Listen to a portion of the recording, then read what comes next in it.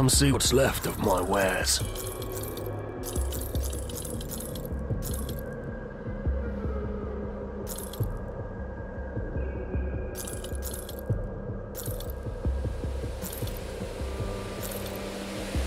See you around.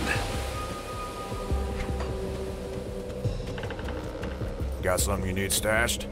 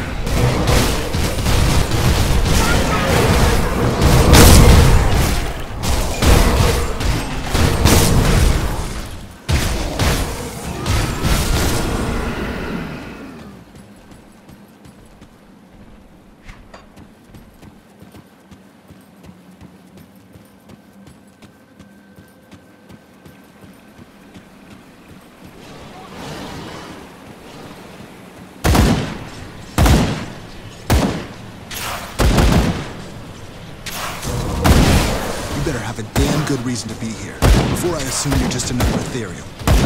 You're not from Malmouth, though. I'd know. Speak. Why are you here? You and what army? The city's been overrun. Our people are scattered, dead, or worse, taken into the fleshworks. The Black Legion? They survived the carnage in the capital? I suppose if anyone was gonna pull through, you could count on the Emperor's finest. How do they plan to get here? The docks are destroyed. Aether fire surrounds us.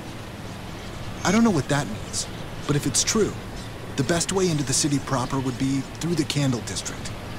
The bridge was raised following the attacks, but the controls should still function. If you find a way to lower it, then the Legion can enter.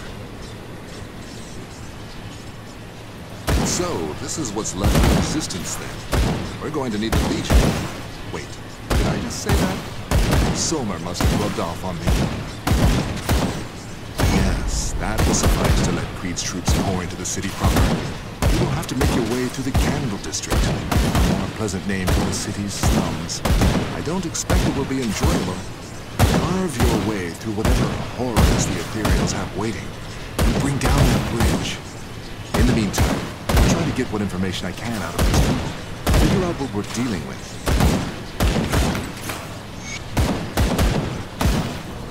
If you're serious about heading out into the Candle District, which I don't recommend, then there's something you could do to cement our trust. The Ethereals do more than just slaughter us. That much is apparent. They've been gathering the dead and transporting them to Crown Hill. To what end? Just take a look at the mutated brutes roaming the city. We're just fuel for their experiments, material for their army. And I will not stand for another human being used this way. The ethereal gathering efforts are concentrated around the Candle District, where the fighting was thickest. If you head out there, destroy their despicable corpse wagons.